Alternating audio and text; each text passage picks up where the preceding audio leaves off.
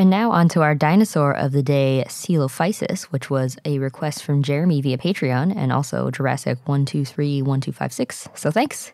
Coelophysis was a coelophysid theropod that lived in the Triassic in what is now the southwestern US, also South Africa, and Zimbabwe. The name means hollow form and refers to its hollow bones that made it light. Material from similar animals have been found in some late Triassic and early Jurassic formations. Coelophysis is one of the earliest known dinosaurs. It's small and slender. It was a bipedal carnivore, and it grew up to 9.8 feet or 3 meters long, and it weighed up to 60 pounds or 27 kilograms. Wow, that's pretty big. Mm-hmm.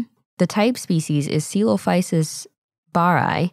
There's a second species, Coelophysis rhodesiensis, and that was formerly known as Megapnosaurus. Other species included Coelophysis longicollis and Coelophysis willistoni, but those are now considered to be synonyms of Coelophysis bauri. There's a third possible species, Coelophysis kayentakatae, which was also previously Megapnosaurus, but not everybody agrees on this. Coelophysis had a similar body shape to other theropods, but with some differences. It had an S-curved neck, and Coelophysis bauri had one of the earliest known wishbones in a dinosaur. It also had a long, narrow head, forward-facing eyes, and good depth perception, and vision that was about as good as eagles and hawks. It had a long snout with long fenestrae, the openings, to help reduce weight, and it had blade like recurved teeth with serrations. These teeth were good for slicing. Coelophysis probably ate small lizard like animals. It may have been an opportunistic carnivore, which means it would have been a predator and a scavenger, and it was fast and agile and had long legs. It also had a long, slender neck and tail. The tail was semi rigid, so it didn't move up and down. On the hands, it had four digits, but only three were functional. Coelophysis also had narrow hips and forelimbs that it could use for grasping. In 2002, Carpenter found that Coelophysis had flexible forelimbs, though they were weak. So, that and the fact that Coelophysis had small teeth means that it probably preyed on animals much smaller than itself. They also found Coelophysis to be a combination grasper clutcher. Coelophysis had narrow feet and three toes on each feet. There's two forms of Coelophysis body types that have been found gracile and robust. And the gracile form has a longer skull and neck and shorter forelimbs. The robust form has a shorter skull and neck and longer forelimbs. This may be due to sexual dimorphism. The gracile form may have been female, that would have been easier for egg laying. About 50% of the population found was gracile and 50% robust, which further supported this idea of sexual dimorphism. However, later research found that both species of Coelophysis had variable growth, and the gracile and robust forms may just have been individual variation. Yeah, then it's just like you draw the line down the middle and you say all the ones on this half are gracile and all the half on this one are robust. But really, there's a lot of in between, so it's not so easy. Yeah. Yeah, it's always hard to differentiate between male and female. hmm Especially with dinosaurs, they have a lot more variability than some modern animals. hmm Rinehart and others found in 2009 that a female Coelophysis would have laid between 24 and 26 eggs in each clutch. Wow. And they found some evidence of some parental care during the first year of their hatchling's life. Coelophysis grew rapidly, especially during the first year that they lived. They probably reached the full size by the time they were eight years old. Coelophysis was one of the earlier named dinosaurs. It was named in 1887 by Edward Drinker Cope and described by Cope in 1889. David Baldwin, an amateur fossil collector who worked for Cope, found the first bones back in 1881 in the Chinle Formation in New Mexico. Originally, Coelophysis bauri was named Coelurus bauri. Cope referred to these specimens as Coelurus bauri and Coelurus longicollis in 1887 and then reassigned them to Tanystropheus later that year. And then in 1889, Cope reassigned, renamed those bones to Coelophysis bauri. The species is named for George Baur, a comparative anatomist who had similar ideas to Cope. So Coelophysis has a few synonyms Longosaurus, Rioarribasaurus, and Megapnosaurus. The first bones found of Coelophysis were not well preserved, but then in 1947, George Whitaker, assistant to Edwin Colbert from the American Museum of Natural History, found a Coelophysis bone bed of hundreds, maybe over 1,000 specimens in New Mexico at Ghost Ranch, near where the first fossils were found. Colbert assigned the fossils to Coelophysis, so many specimens were found, and then one of those became the new diagnostic specimen for Coelophysis. In the 1980s, there were debates that the first Coelophysis specimens were not diagnostic by themselves, meaning there's not just not enough to go on. Yeah, not unique enough compared to other dinosaurs. hmm And that other specimens, therefore, couldn't be applied to Coelophysis bauri. And then in 1991, people were saying that the Ghost Ranch quarry specimens could be Rioarribasaurus. However, the fossils from Ghost Ranch were called Coelophysis in most scientific papers, which would make switching them to Rioarribasaurus confusing, so there was a petition to change the type specimen of Coelophysis to one of the Ghost Ranch specimens. The ICZN voted to make one of the Ghost Ranch specimens the new type specimen and declared Rioarribasaurus a nomen rejectum, which means rejected name, Hmm. and Coelophysis became a nomen conservatum, which means conserved name. Interesting.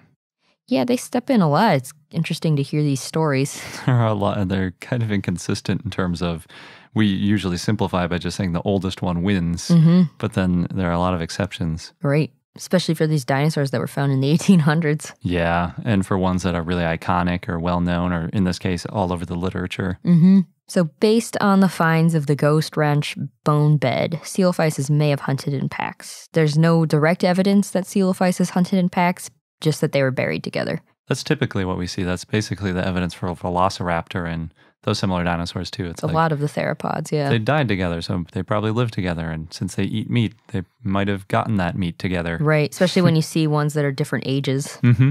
But it's possible that they died together because they all drank at a water hole, or they went to go eat some fish and then died by a catastrophic flash flood, or maybe there was a drought. Yeah, or even they were just drawn to an animal that one of them killed Yep. and then died together. 30 specimens of Coelophysis rhodesiensis were found together in Zimbabwe, but there's no direct evidence of pack hunting. They may have also died from a flash flood. In 1969, Mike Raath describes Syntarsis rhodesiensis, and Syntarsis means fused ankle. Michael Ivie and others who studied beetles found that Syntarsis was already the name of a beetle that was named in 1869. And because Ivie and his team figured this out, they were able to rename the dinosaur. And they named it Megapnosaurus, which means big dead lizard. That's really funny. Understandably, Mike Raath did not like this. Ivie and his team did not contact Raath beforehand to tell him either.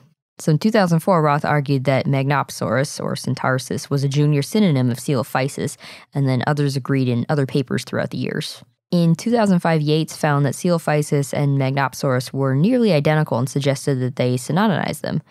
In 2004, Tykowski and Rowe found it to be also found it to be synonymous with Coelophysis, and they confirmed this in 2007 by Ezcurra and Novas. In 2000, Downs found that another dinosaur, Camposaurus arizonensis, was a junior synonym of Coelophysis bauri, though in 2011, Martin Ezcurra and Stephen Brusatte found Camposaurus was distinct enough to be its own genus, though it was closely related to Coelophysis rhodesiensis. Professor Mignon Talbot found a specimen in 1911 that she named Podokesaurus holyokensis that for a while was considered to be related to Coelophysis, but now some people think is actually a synonym. Some scientists think that Coelophysis bauri is the same as Coelophysis rhodesiensis, which used to be Syntarsis, also known as Mega- Megapnosaurus. It's getting complicated. It always is with these older dinosaurs. That's very true. Especially with this pre internet stuff. It's like no one could just Google it to see if that name had been used before. So you get a lot of these oops, I named that dinosaur and it was already a different animal. Now people probably never make that mistake. Hopefully not. Don't know for sure. But in 2000, Downs and then in 2004, Tykowski and Rowan, also Bristowe and Raath found that Coelophysis bauri is different from Coelophysis rhodesiensis. Coelophysis was thought to be cannibalistic based on juvenile specimens found in the guts of some of the specimens from Ghost Ranch. It's pretty good evidence. Yes, but in 2002, Robert Gay found that this was misinterpreted. Instead, the juvenile Coelophysids were small reptiles Oops. and Nesbitt and others supported this in 2006. In 2009, Rinehart and others re examined a specimen and found teeth and jawbone fragments in and around the mouth that were, quote, morphologically identical, end quote, to juvenile Coelophysis. In 2010, Robert Gay found that the volume of bones was 17 times greater than the maximum estimated volume of a Coelophysis stomach, and also found an absence of tooth marks and that the juvenile bones were deposited stratigraphically below the animal that ate them. Meaning that it was older. So something else died on top of it. Yes. He found that the position they were found in were a quote coincidental superposition of different sized individuals, end quote. So Robert Gay is really standing up for the coelophysids, trying to show that they're not cannibals. Not cannibals. No. Coelophysis lived in what is now New Mexico in a warm monsoon like climate. Coelophysis rhodesiensis lived among desert dunes. Coelophysis was the second dinosaur in space after Maiasaura. Hmm. There's a Carnegie Museum Coelophysis skull that was on the Space Shuttle Endeavour mission STS 89 in January 1998 and was also taken to the space station Mir before going back to Earth. That's really interesting. I guess it makes sense because it's a relatively small skull. Mm-hmm. Taking up Maiasaura, that's kind of crazy. That's a pretty big one. Not that big. Big old hadrosaur. Yeah. Compared to something like a T Rex. Oh, it could be bigger. That's true. Yeah. But every pound counts when you go into space. True. Coelophysis is the official state dinosaur of New Mexico and is the logo of the New Mexico Museum of Natural History. And Coelophysis bauri became New Mexico state fossil back in 1981. And if you want to see Coelophysis, you can see it in the first episode of Walking with Dinosaurs. It's a good one. For those of you who listen to our Dinosaur of the Day segment and you like it, please consider becoming a patron. We take new Dinosaur of the Day requests from our patrons and offer a bunch of other perks as well. So check out our page at patreon.com slash iknowdino or click the link on the left.